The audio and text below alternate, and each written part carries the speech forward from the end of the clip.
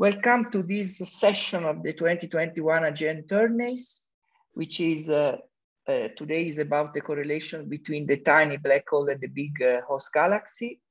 And uh, I have the pleasure to introduce the two speakers of today, which are Viola Allevato and Antonino Marasco.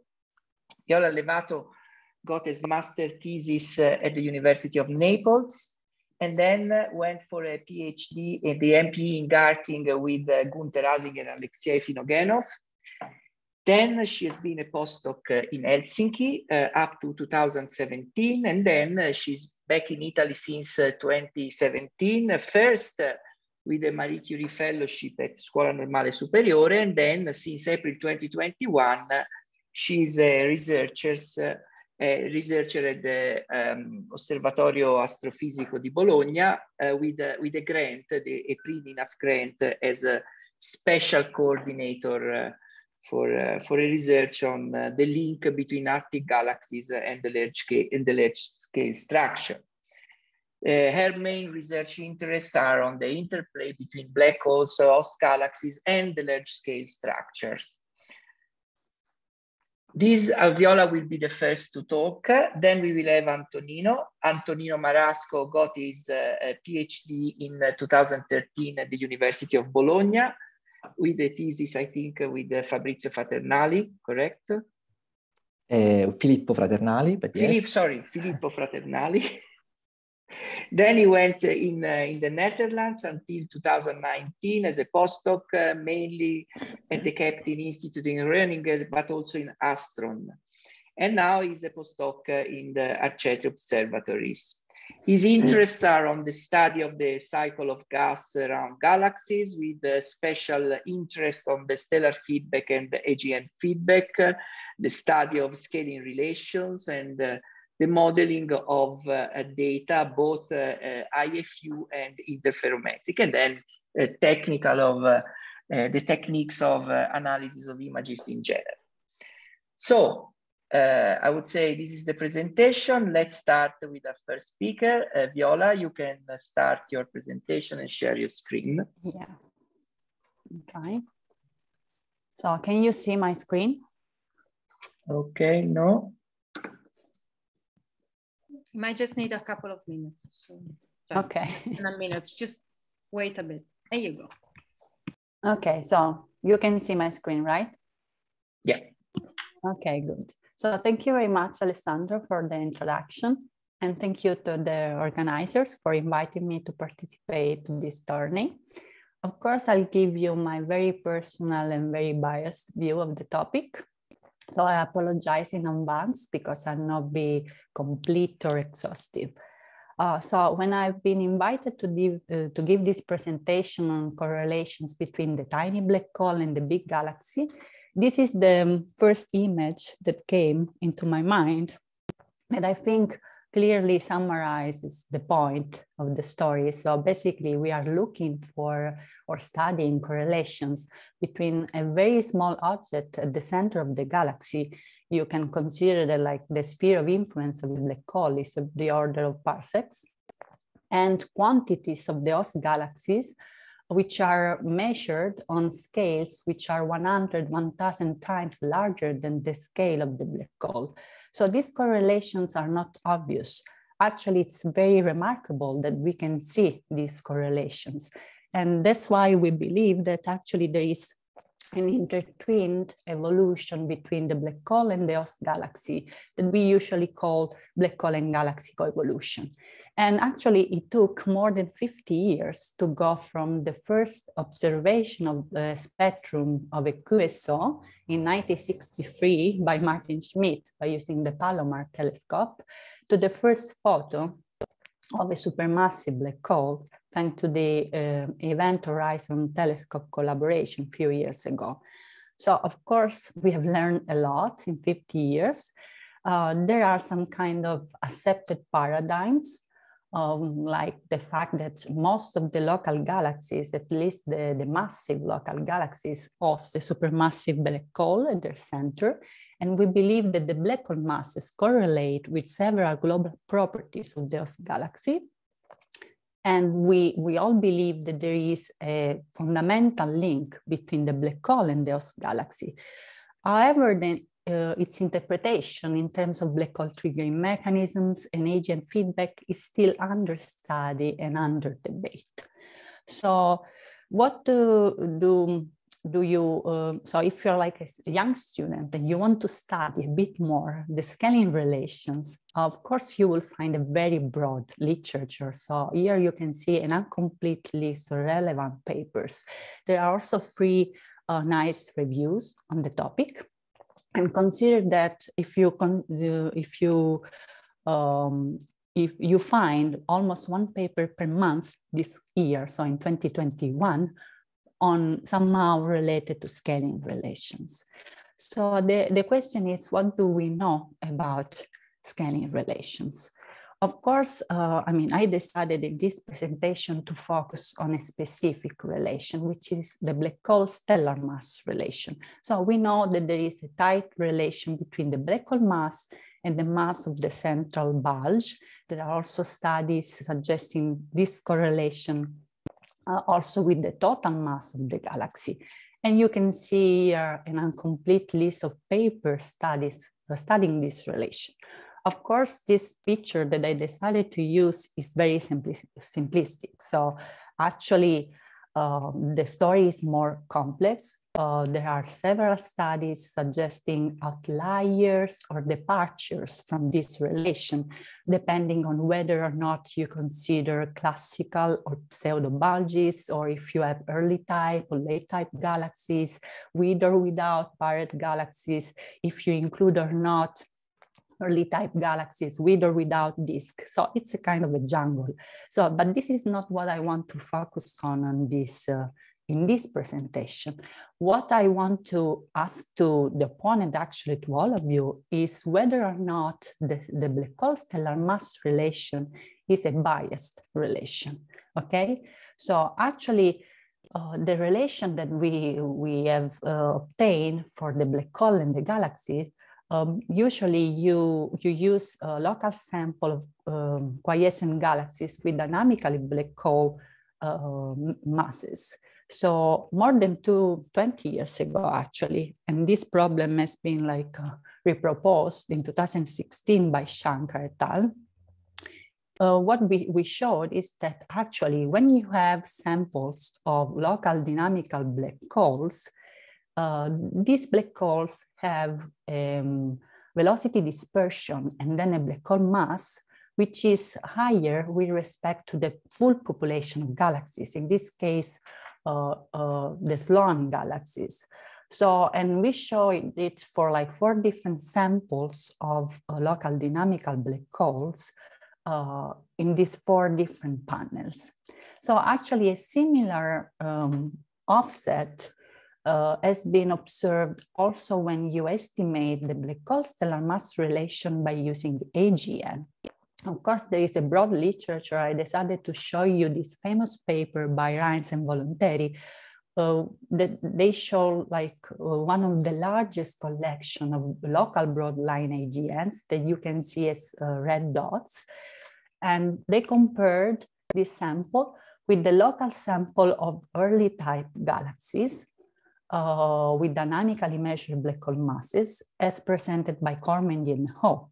And in Reines and Volonteri, they claimed that you have an offset in the black hole mass uh, at a given stellar mass uh, that can be very large, one of the order of 1.2 dex, and cannot be ascribed to redshift, to error measurements. Um, so in 2016 and a few years later, in 2019, uh, Shankar et al., we showed that one of the uh, main selection effect that can uh, bias this relation or that can create this offset is the fact that when you have um, samples with dynamically measured black hole masses, you are measuring basically the black holes by using the dynamics of stars and gas around the black hole. So you need to resolve the sphere of influence of the black hole, which is defined by this relation here.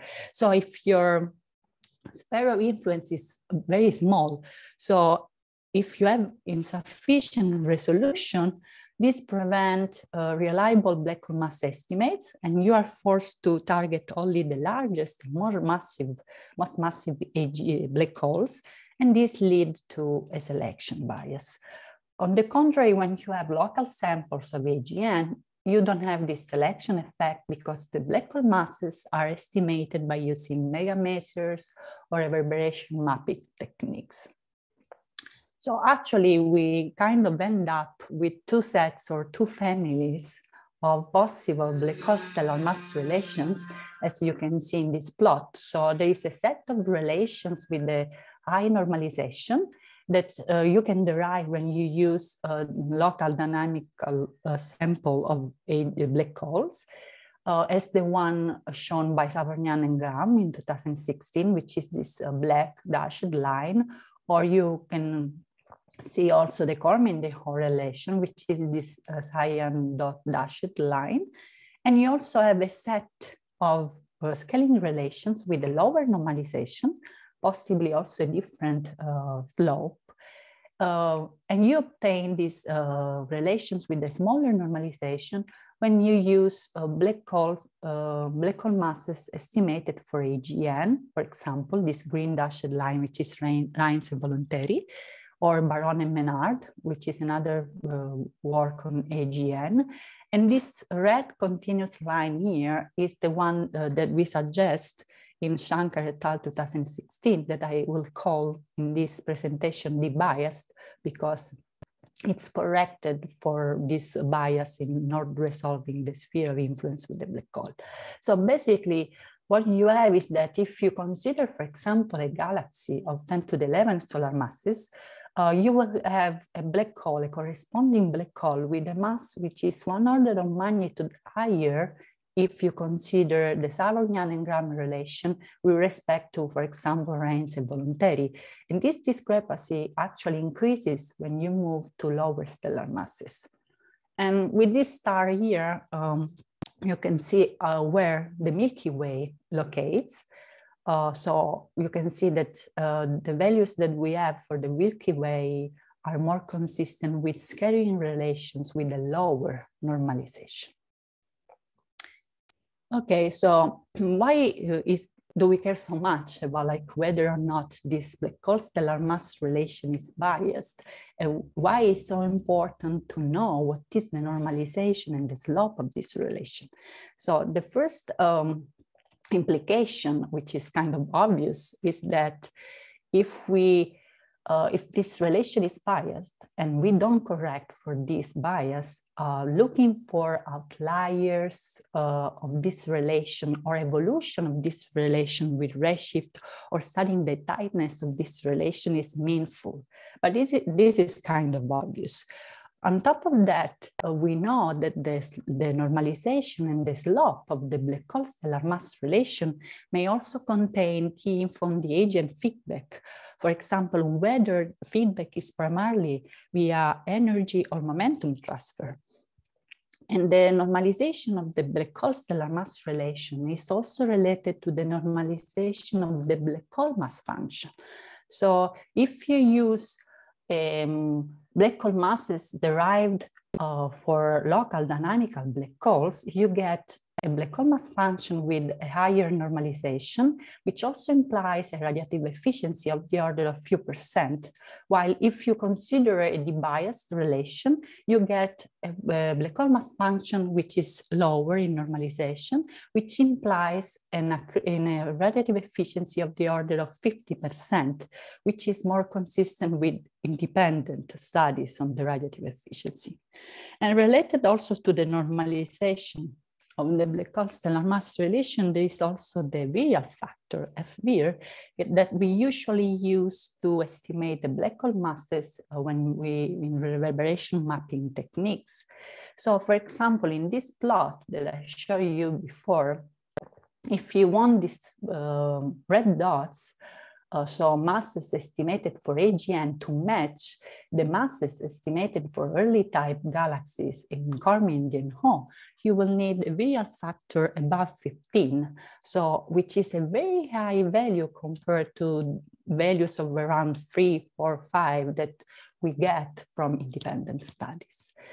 Another obvious implication uh, of, the of, the normalization of the black hole stellar mass relation is the fact that at a given stellar mass, if you have lower, smaller black holes, not just possibly in the local universe, but also at high redshift, if we assume that this relation is not evolving with time, then this makes easier the challenge of having massive uh, growing black holes in the early universe.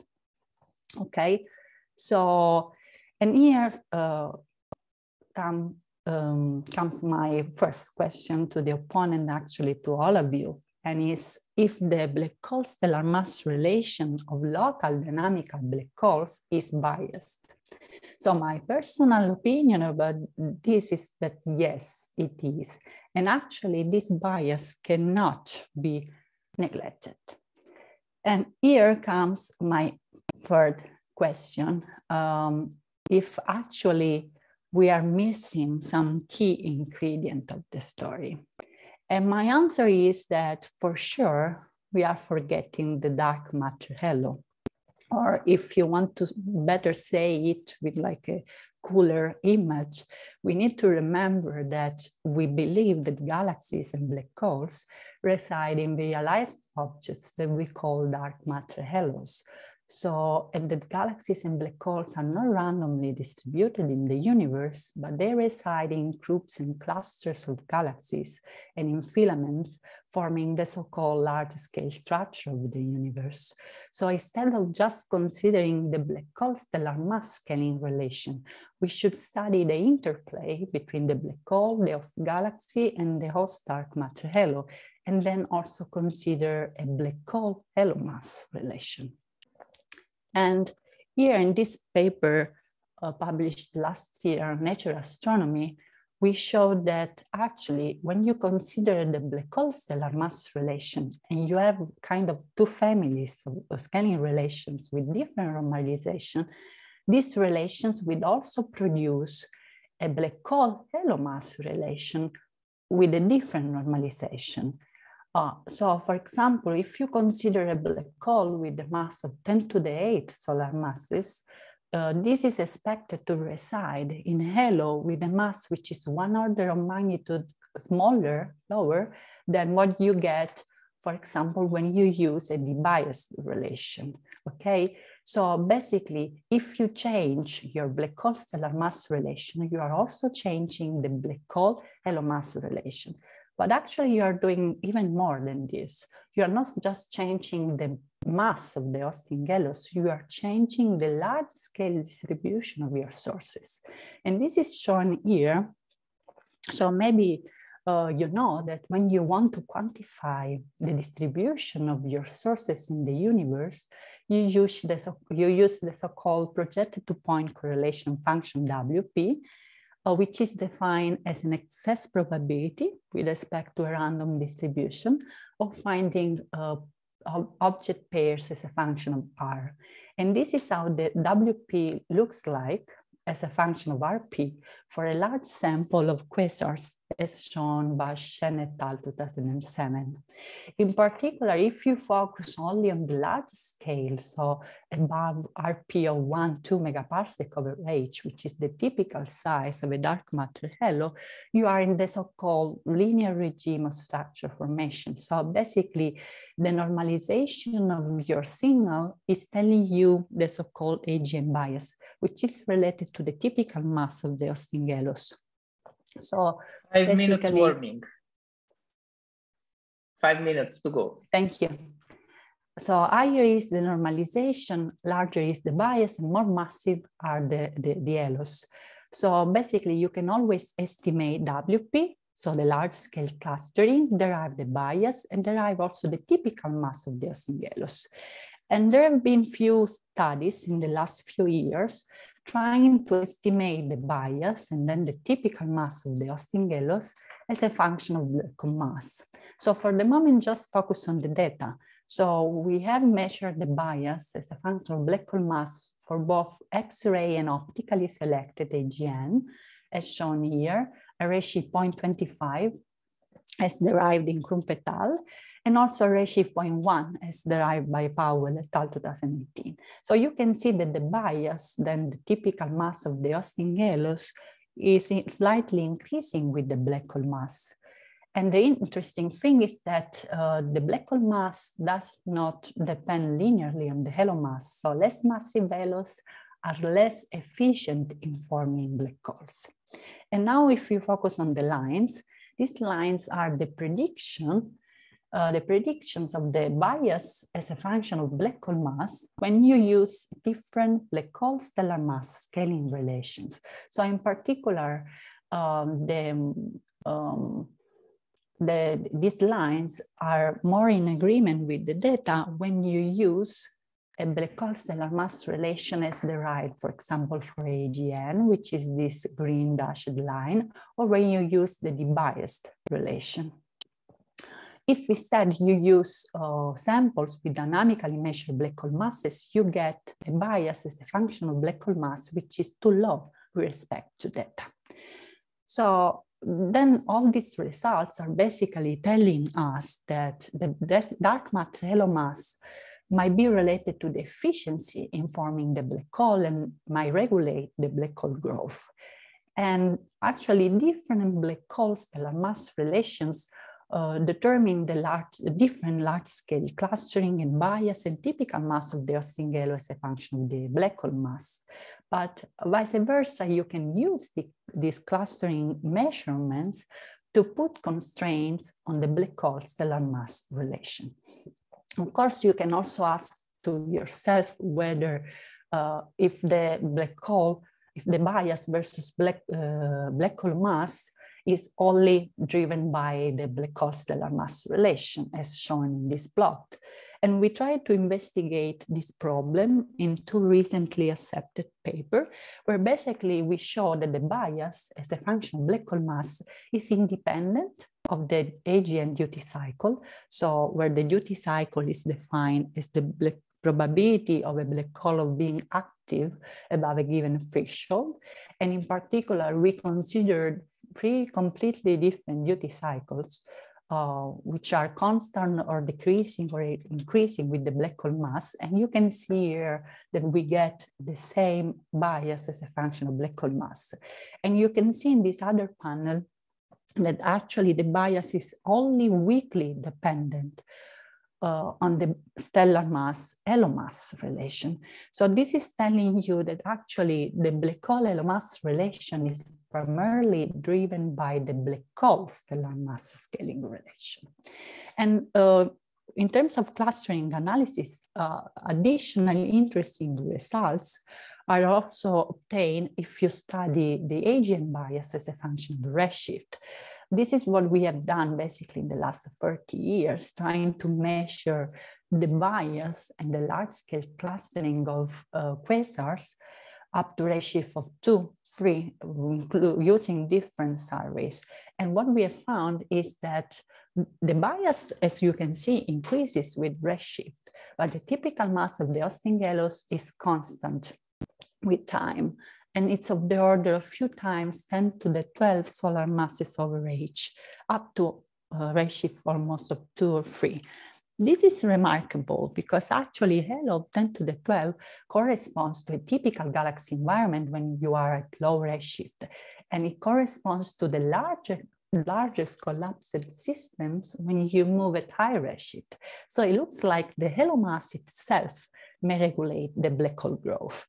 And this is also shown in this very nice review on clustering by Alexander and Hickox, 2012, where you can see the halo mass as a function of redshift. And you can see that actually the range uh, in halo mass uh, 10, between 10 to the 12 and 10 to uh, 13, you can find all the quasars and AGN, X-ray selected AGN. So it's like uh, this is the halo mass range in which the halo um, uh, is basically more efficient in growing massive black holes.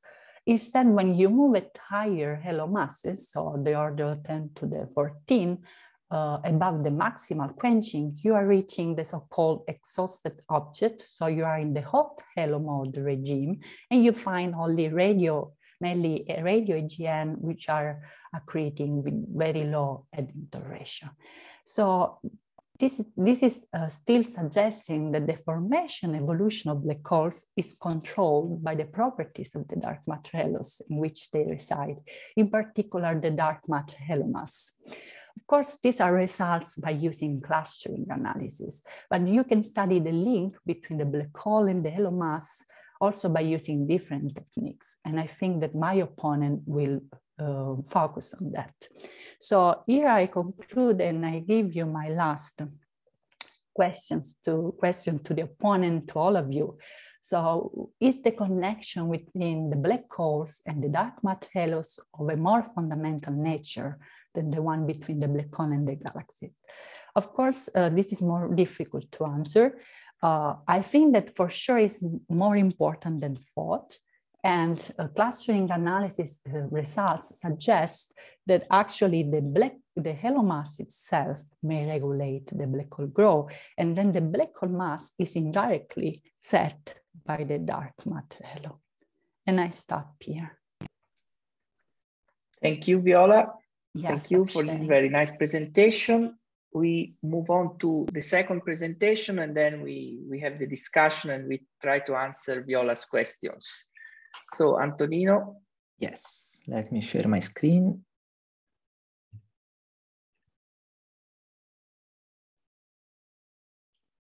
Do you see my screen, I guess, and you see my presentation as well? Yes. Okay, do you also see my pointer going around? Yes. Okay, so so thank you. Okay, so I think I can start. So thank you, thank you, Alessandro, for the kind introduction, thank you, you know, to the organizer for inviting me to give the contribution, my contribution to this topic, the correlation between the tiny black hole and the big galaxy. And as uh, Viola already anticipated, one should add oh, I cannot go on. Yeah, I can go on. And the huge dark matter halo, because the, you know, the true correlation is between these three quantities and not between two quantities. But let me start this whole discussion with a little disclaimer first. The disclaimer being is that I cannot really be considered an expert in this particular topic because I've been working on AGN and black hole physics and property only for about a couple of years. So the disclaimer is uh, it's not going to be like this, okay? This tourney where you have your experienced astronomer armed with uh, mighty knowledge and uh, capable of facing a very difficult audience or a very difficult opponent, but it's more going to be like this. Now you have your juvenile and a bit naive, perhaps astronomer, who's willing to share his first adventures with, uh, with possibly benevolent audience and fortunately, the first adventure have been done in uh, collaboration with other knights more experienced than me. So we can, you know, we, we go through this adventure together. So let me describe the adventure, right? So I am a naive astronomer, uh, as I just said. So let's start with a very naive and simplified galaxy evolution framework where everything is regulated by three quantities. Okay, so I, you will see now a series of sketches that I draw myself. Sorry for that. Uh, you have a stellar disk with mass m star embedded in a dark matter halo with mass m halo, and at the center of the system lies a supermassive black hole with mass m black holes. These are the three fundamental quantities that we are interested in here. Then, of course, the halo is not empty. It's filled with the halo gas reservoir. You can think of it, uh, the collection of the missing baryons. The halo gas reservoir cools with time. It feeds uh, the interstellar medium of your galactic disk, within which there are the processes of star formation and black hole feeding. So the mass of the stellar disk and the supermassive black hole grows with time. Now let's complicate a little bit this scenario by remembering that the system is not isolated. So you have extragalactic dark matter uh, accretion and gas accretion from the outside, from the cosmic web. And let's remind us that there are uh, internal feedback mechanisms. You have stellar feedback. You can think of it in a simple form of ejective kind of feedback. You know, star formation drives outflow. So part of the ISM goes back to the reservoir and a perhaps more complex AGN feedback that can be both uh, ejective as the stellar one and also preventative. meaning that it can slow down or even quench the cooling of the gas reservoir. Now, this complication that I put in these slides, if you think about it, they are not so complex because after all, they are related to the growth of, of mass of the three fundamental quantities that, that I showed before. Now, stellar feedback depends on star formation rate, AGN feedback depends on the uh, accretion of the mass of the black hole, the growth of the mass of the black hole, and by definition, this is uh, dark matter accretion from the cosmic web. Therefore, if in this simple framework, galaxy evolution is regulated by the growth of black hole stars and dark matter halo, and the growths are intertwined, you may well expect that at all redshift, there is a relation between black hole mass, halo mass, and stellar mass okay? So this already contains a hint to the, to the question that Viola posed me. But let's see, let, let's see this better. So we can test this scenario that I sketched here in the nearby universe where we have, uh, where the data are mostly available. Okay, so now it comes a kind of observational part of our study, although we didn't do any real observation. So, but we built a sample, a sample of galaxies with very robust measurement for black hole mass, stellar mass, and halo masses. Okay, uh, so we built a sample of 55 galaxies. These are galaxies with different morphological types. So we have uh, like almost bulgeless spiral up to early type galaxy completely dominated by the bulge. Okay, the black hole mass is based on uh, a variety of techniques, stellar, gas, or maser dynamics. And I have to say, I never asked myself whether or not these measurements are biased because we cannot resolve the sphere influence. It's a very interesting question, and I don't think that I have a reply to that right at the moment. Okay, so this is taken for granted from the literature, from a collection of uh, well-studied catalogs of black hole masses. Stellar masses comes from uh, late type galaxy from KS band luminosity, and for uh, early type galaxies from dynamical modeling. I will tell you what this means, but let's go to the M halo estimates, which are all dynamical, okay? And these are all dynamical, meaning that for early type galaxies, we measure it, or, or, better, we took it from the work of Posti and Fall, and it's based on the dynamics of globular cluster. Okay, so you model the distribution of globular cluster in the phase space with a model using a NFW halo profile and the Sersic profile for the star, so you can have an estimate on both the halo masses and stellar masses. And then for late type galaxies, you cannot play this game any longer because the globular clusters are not so abundant, but fortunately you have rotation curves. Okay, so we uh, digged into the literature to find the rotation curve for many of these objects, and we found it in many cases mostly from H1, is the best cold tracer that you have because it's extended and it's cold. In some cases, we had to rely on uh, H alpha and CO, but most cases we have we have H1. We went for the measurement of V flat, which is the flat part of the rotation curve, and then we applied a V flat to M halo calibration to infer the halo masses. Okay, this calibration is based on uh, a more, uh, you know, complex and refined dynamical modeling of, uh, of uh, rotation curve of nearby galaxies with better data. Is actually the sparks and the SPARC sample.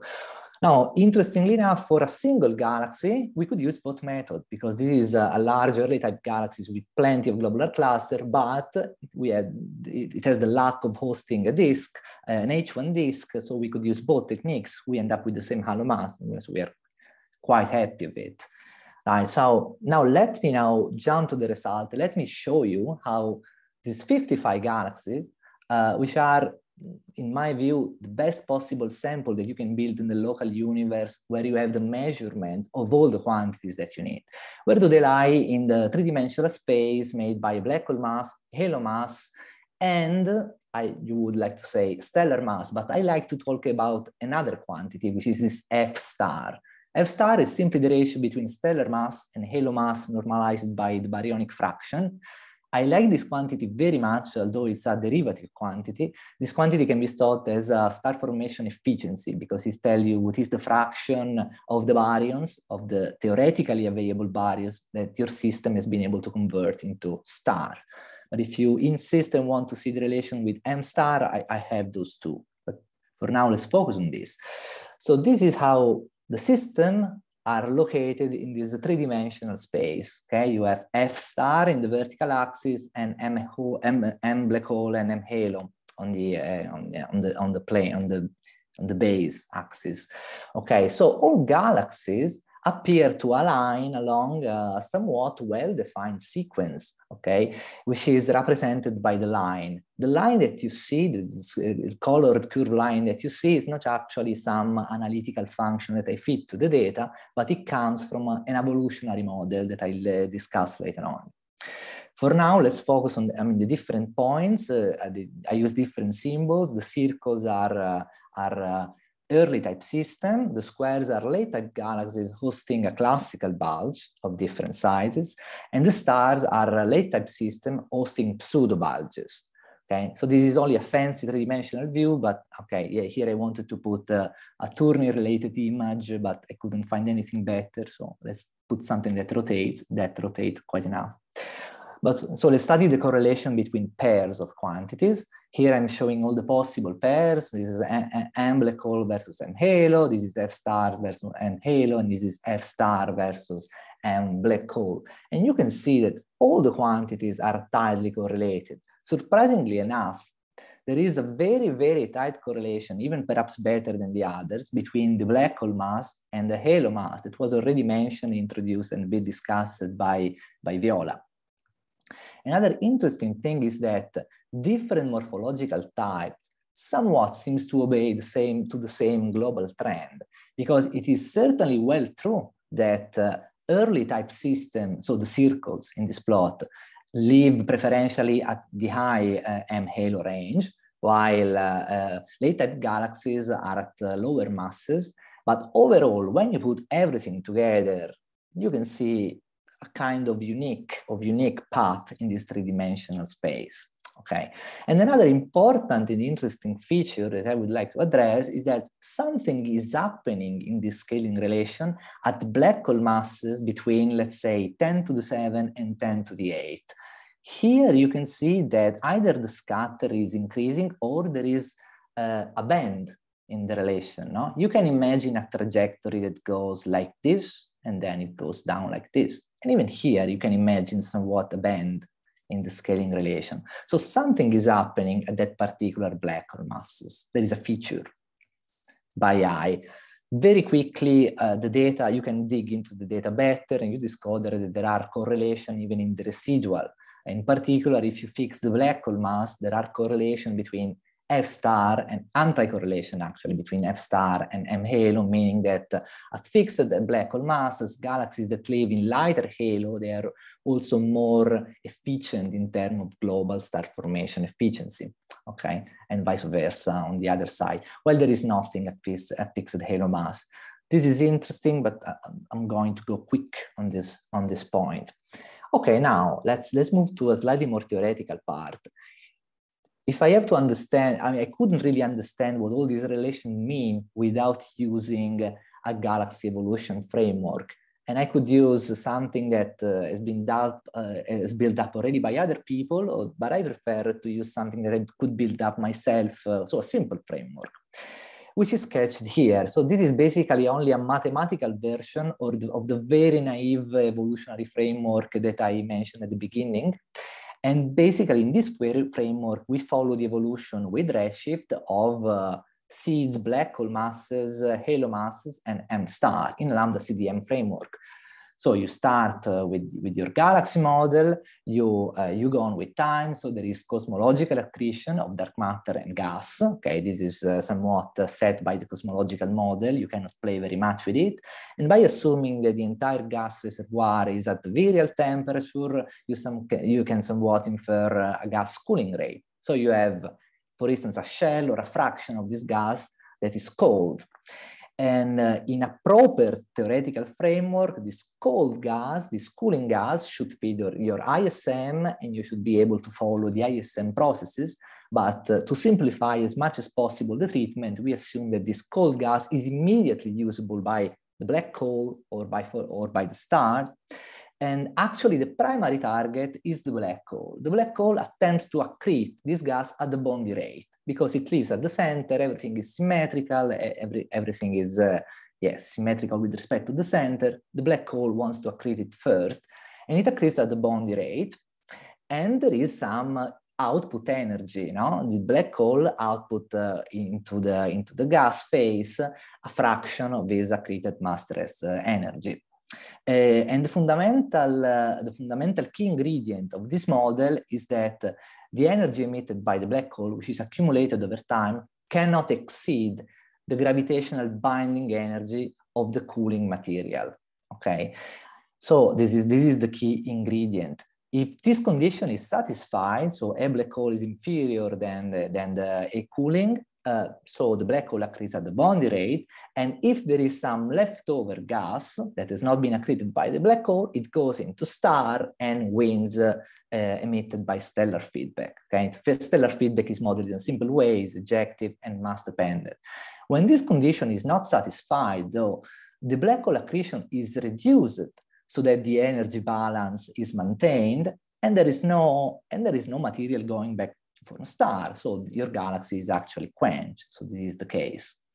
Lots of word. So it's easier to, if I just show you what are basically the evolutionary path of a model like this one, okay? So these are the, the growth with redshift of the three quantities, M black hole, M star, sorry, sorry, this is the M halo, this is M star, and this is the mass of the black hole as a function of the redshift uh, for one typical halo, okay? And uh, uh, you can see different phases. If you focus on the, on the black hole mass versus redshift, there is first a slow growth, which is caused by the fact that for the way we have implemented stellar feedback, uh, the, the, the, feedback basically diminish the density of the gas at the center of the system, so the, the, the black hole cannot be fed. But then this, this feedback mechanism is not effective any longer, and you face a very rapid growth at the Bondi rate. But at some point, there is the energy condition that is met. So there is a complete change in the slope of the mass accretion of the black hole, which is basically this part of the line over here, which happens in this case at redshift 2, and this corresponds also to the quenching. As I said, at some point, the black hole basically starts to self-regulate itself and is stealing all the material uh, to the galaxy. So the, the, the system is actually quenched. Star formation is set to zero okay? You can repeat the study for different uh, uh, halo masses and you discover, for instance, that uh, according to the downsizing scenario, the system with the highest stellar mass have been those that have been quenched first in this simple model. So this is a feature of the very simple model, but let's see, does it work? Let's go back to the data.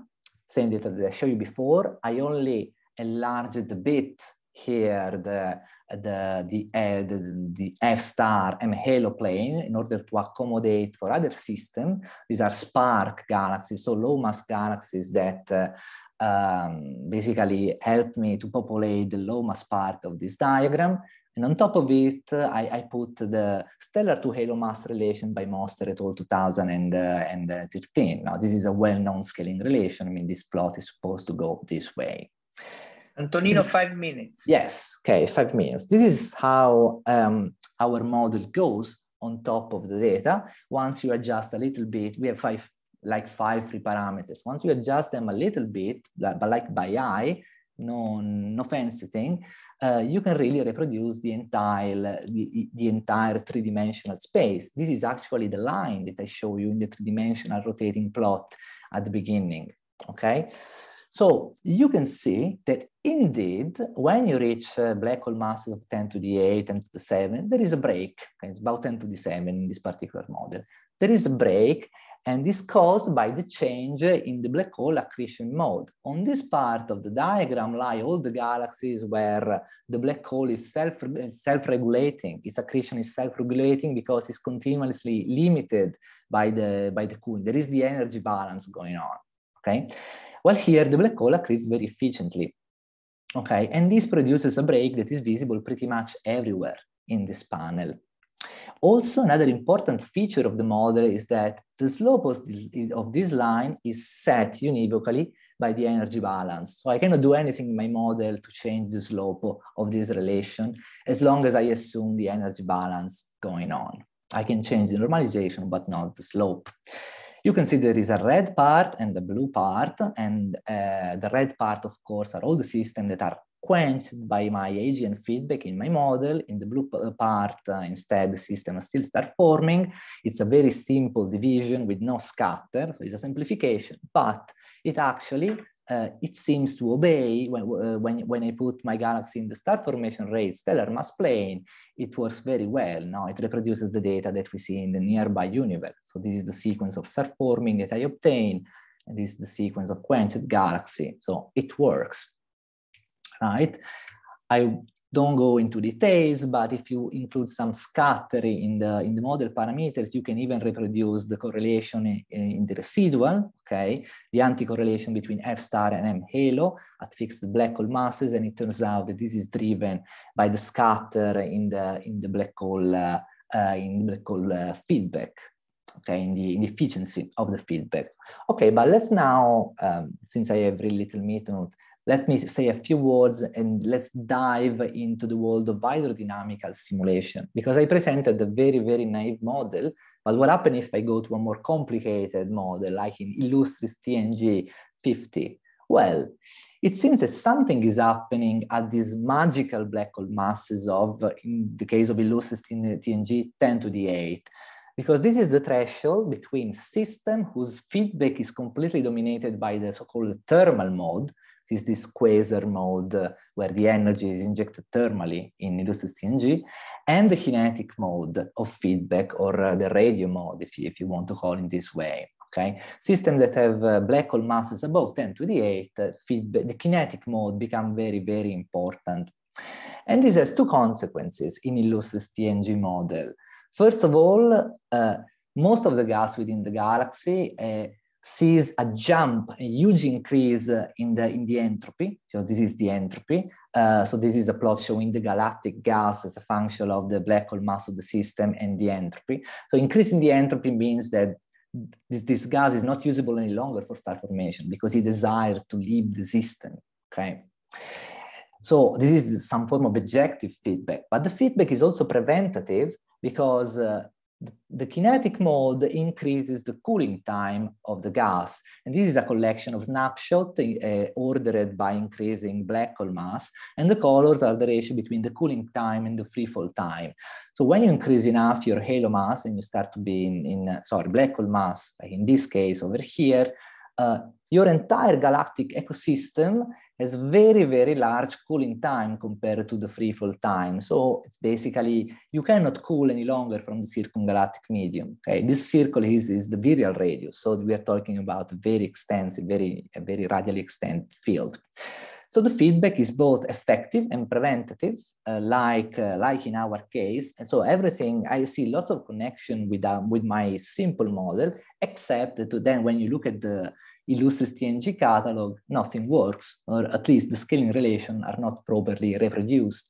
When you go to Eagle, the situation is slightly better, and Eagle has only one mode of feedback, the thermal mode, uh, AGN feedback. So more work needs to be done to understand better the physics, what's going on uh, at the center of the galaxy, the AGN feedback. So these are my conclusion for the for this uh, my talk for this uh, this um, this journey, okay? Nearby galaxies align along a very well-defined sequence in this three-dimensional space. There is no very clear dependence on the structural properties of galaxies, and there is a break in the scaling law that appears at the magical black hole masses between 10 to the 7 and 10 to the 8. Okay, and these trends all seem to be compatible with a simple evolutionary model in Lambda CDM framework, where the, the, key ingredient is the energy balance between the energy emitted by the black hole, the output emitted by black hole, and the cooling of the, and the gravitational binding energy. Okay, so the AGN feedback is responsible for quenching the galaxies and regulating the own growth of the black hole per se. And finally, I still believe that uh, the details, the, uh, the feedback of the AGN physics still needs to be understood, okay, to better understand what's going on. So in other words, this, uh, this energy balance is something that I put my hand in the model, but understanding what it means physically, how it works, is the challenge here. Okay, so I so I'm done. I realized that I didn't really reply to to uh, many of the questions that, uh, that Viola made, but now I can reply to the very last one. And it means that uh, in a scenario where uh, the feeding of the galaxy, so the growth of the star and the growth of the black hole are both regulated by your dark matter halo, which is basically attracting gas from the outside, it is very natural to think that there is a connection between all these three different scales. And perhaps it's not so incredibly surprising that is the halo mass that regulates all the scaling relation rather than uh, looking separately at the black hole and at the stars. And I think that I'm done. Sorry for being a bit late. Thank you, Antonino, for the very nice talk too. We had two very nice talks. Now it is time for the discussion.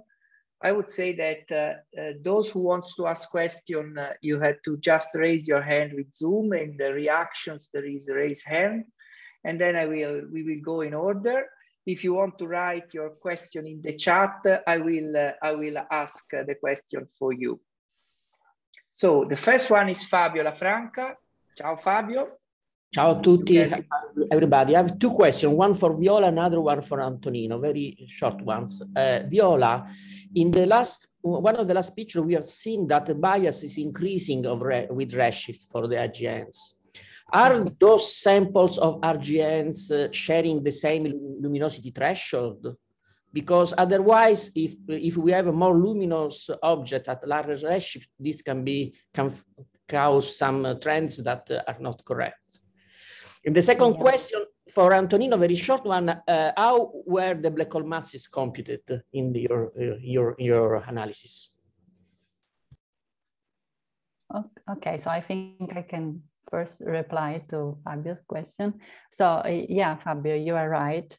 Uh, that's why I decided to show only the bias evolution as a function of redshift only for quasars without mixing X-ray selected or infrared selected because I mean, um, you can be quite sure that for those uh, samples of uh, quasars, they are selected in different in different surveys. I agree, but at, at, at, the end, you have for all of them uh, a similar mean luminosity. So they are all uh, objects with a bolometric luminosity of the order of 10 to 46 per second. Okay, so uh, of, I mean, for sure there, there can be different cuts in luminosities, but that's why I focused only on quasars. This is true when you mix maybe more like X-ray, optically selected AGN and so on. So I'm quite confident that there is a bias evolution with redshift with the constant halo mass, at least for quasars. And we have like so many uh, data that I mean, I'm quite confident about it.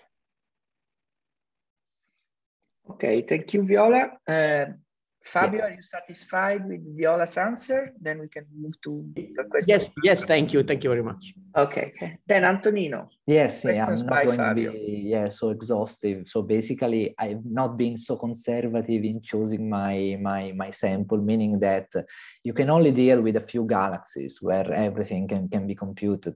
So I picked pretty much everything that I could. So it's a, it's a mixed sample where the black hole mass has been estimated through all dynamical measurements. Okay, so there is not, uh, say, it's, a, it's these are direct dynamical measurement, but with a variety of traces, so gas, stars, and masers, preferentially gas and stars. Okay, uh, but it's mixed. It's true. So if there are heavy bias, I would say it's maybe unlikely get, that everything comes up into a coherent picture. No, it's, so this, this, is my point. So uh, those are not uh, AGNs, are uh, they, they are not based on single epoch measurements, are based, based on stellar uh, dispersions and something like that? Yes, yes, yes, exactly, exactly or no, you know, broadline width of the broadline regions uh, for, for the gas tracer, this kind of thing. So yes. Thank you. Okay, other questions? I have, I have a question. We are while we are waiting for the audience to, to ask other questions, I have a questions for Viola. Uh, you didn't say anything about the redshift evolution of the black hole galaxy relations. How do your bias measurements, the variation of the bias with the redshift, that, does it has any relation? That can, can we get any relation from that and the a possible evolution of the M black hole galaxy relations? Okay, so good question. So for the moment, uh, I mean, all the models that I use to get the expected evolution of the bias when changing the input black hole stellar mass relation are assuming that the black hole stellar mass relation is not evolving with time. And actually there are few works suggesting it. Like for example, a few years ago, there was this paper with um, Suh et al. 2019, if I remember correctly, where we showed that there is no evolution. Then when we will, I mean, my, my hope is that soon possibly also with like Euclid and eROSITA, we will also study the typical mass or the bias large scale clustering as a function of the black hole mass at higher redshift, okay? And then we can also include one additional free parameters in the model at play also with whether or not this relation is uh, evolving and possibly get constraints on the evolution from the clustering. But we need uh, estimates at larger redshift. So for the moment, all these studies are possible at low redshift, where we have black hole masses, we have large samples of AGN. But in the future, I think we, we will be able to put constraint on it from the clustering. Okay, thanks. But personally, I think that there must be an evolution with redshift, for instance, because otherwise, if you consider the quasars 10 to the 9 solar masses at uh, a redshift above 6, then you cannot certainly expect to have uh, a 10 to the 12 uh, solar mass galaxy with the stars mm -hmm. already formed. So maybe it's not, I mean, the, the ratio between the mass of the stars and the mass of the black hole must evolve, should evolve with redshift. Yeah Maybe that's not true for other quantities like the relation with the halo mass or yeah i mean i was thinking about just in, just redshift evolutions uh, evolution up to redshift of two three okay in the, I mean, the, the maximum that i can imagine for like clustering analysis of uh, AGN okay okay. No, no, sure of course. it's a different story. So we I, I think in my opinion is and these are like the results from different studies that the evolution is weak up to redshift of like two three. Then it's a different story. I might agree with you. Okay do we have uh, other questions or do you want, uh, let's say, uh, there were these questions by uh, Viola, whether the M black hole star relation was biased. Uh, I must uh, say that uh, I must agree with Viola because I was one of the co-authors of the first paper. So I agree with Viola. And uh, does any of the people in the audience have something to say about this, about the bias of the M black hole uh, galaxy relations? Uh, Gianni? Yes. Uh, Viola, with respect to this, uh, I would like to better understand the following uh, about the bias. Suppose we start uh, from a mass selected sample of galaxies and then we try to measure black hole masses. In some cases, we will succeed. In some cases, we don't. And in those cases, uh, we will use upper limits.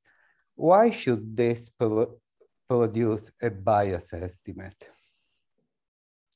Okay, so I'm what I'm saying, maybe I wasn't like 100% clear. What I'm saying is that if you um, derive the black hole stellar mass relation by just using a local sample of early type galaxies with dynamically measured black hole masses, your black hole stellar mass relation will be biased because your, um, your sample of early type galaxies is not like representative of the overall population.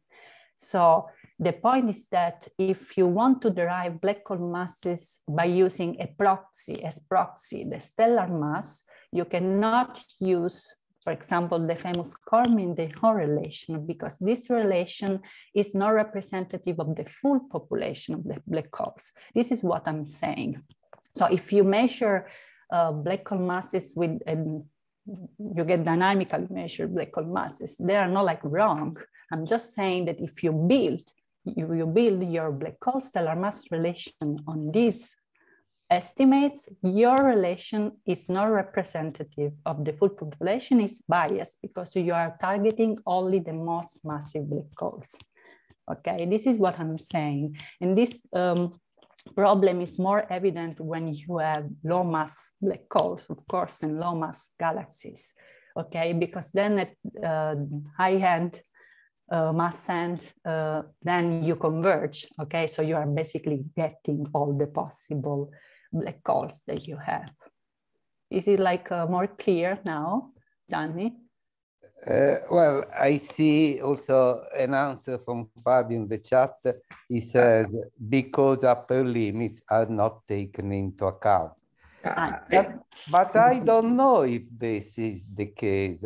In many Yeah. samples, there are few cases of failure of, in the measurement of black hole, and in some cases, upper limits are, are taken into account.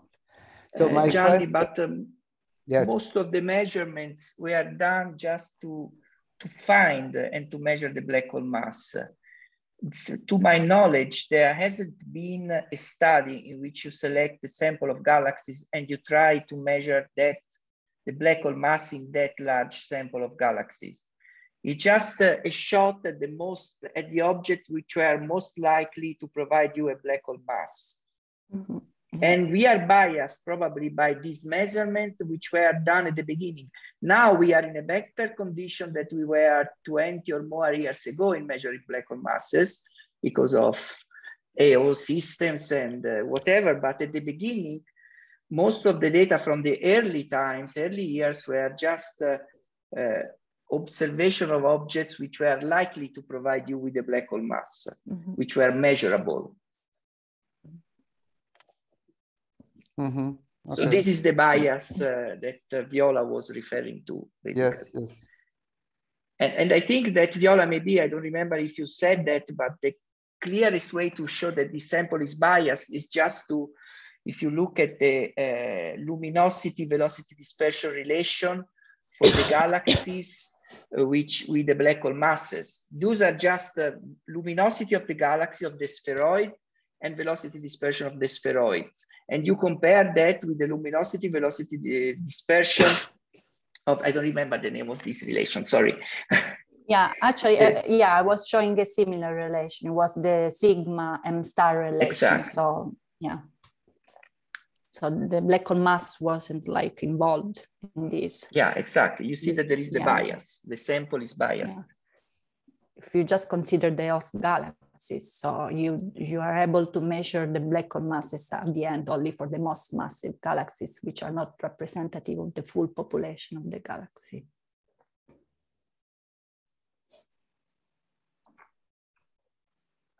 So actually, I have a question for Antonino, if I can. Sure. yeah. So because You are too Um, friendly to I each don't know if- other. yeah, we are. You are too friendly to each other. We want to see the blood. So actually, uh, if I remember correctly, a few years ago, there was this paper by Kormendy, and I don't remember the second author, saying that actually the relation between the black hole mass and the halo mass is some kind of like conspiracy. Like it's just due to the fact that you, it's valid only for elliptical galaxies, but this is not what you find, right? Eh, no, in fact, in fact. So it's it's I mean it's true that if I select, for instance, let, let's assume that I only show the plots for uh, galaxy hosting plu- pseudobulges. They lie in a portion, uh, in a region, a segregated region of the M black hole M halo plane. Then I do again the relation for uh, late type system with pseudobulges. They are uh, somewhere there, but a bit shifted.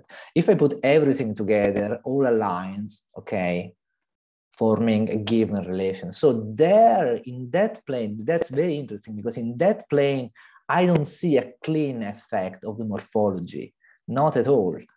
When I go to another plane, M star, M black hole, there, and you show that too, the effect of the morphology arises a bit better. It's not incredibly huge effect, but it's definitely in there. Okay. Yeah. So yes, I, I think that yes. I mean, I am a bit against the, the, the view of Kormendy. Uh, I know I, I agree that there is an effect of the morphology, but I don't see it uh, in that space. When I look at stellar mass, stellar component, it's in there. But let me also add that uh, people also find effect on morphology on uh, way what, what are believed to be way more fundamental scattering relation. No, and black hole sigma. There are those who find very very clean effect on morphology, on bulge fraction, on Sérsic index. So the picture is not clear at all. When as, the moment you put stars into the mix, the picture becomes fuzzy. I don't know if you agree with that. Yeah, yeah, no, I agree. And actually, it was nice to see that also by using different methodologies, like in the one that you showed, that the halo is like relevant because usually when I talk about like clustering or large scale structure of the universe, no, I mean, nobody cares too much. I mean, they, they, don't think that like the halo mass is like fundamental actually uh, uh, uh, in setting the black hole grow. While actually, I think that now it's evident not just from clustering analysis, but also from like different studies. And so we should consider it. Yeah, yeah. I believe it was shocking uh, at the beginning when Ferrarese showed the first results because one could interpret the, this saying, uh, well, the black hole physics is said by the dark matter physics, the baryons play no role, which is, uh, I understand, a bit shocking but mm-hmm. no that's not perhaps the case really um, uh, it's just that the black hole and the stars are son of what happens to the gas embedded in the dark matter halo. So see, Alessandro, we, we agree too, too much with each other to shed blood. so I believe. and, so, and I might add to this, to, co- to finish to the questions by Viola, that uh, Kormendy maybe wanted to show that Laura Ferrarese was wrong. So maybe yeah. there was a bias in that. So it was not very open to the to that yeah. possibility. I mean, actually, there were there have been like also a few papers from Kormendy trying to show that the bias that we show in our paper is wrong. So it's yeah, but uh, whatever they don't do is wrong by default. So yeah, that's that's the way it is for them. So yeah. Okay. Are there other questions from the from the audience? No questions.